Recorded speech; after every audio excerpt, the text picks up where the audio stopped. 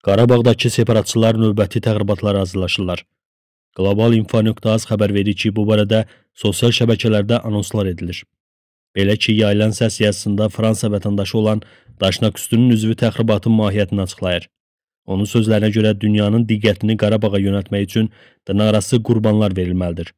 Erməni terrorçu öz millətindən olan sakinlərin məhv edilməsi və bununla dünyada Azərbaycana qarşı təbliğat aparılmasından bəhs edir.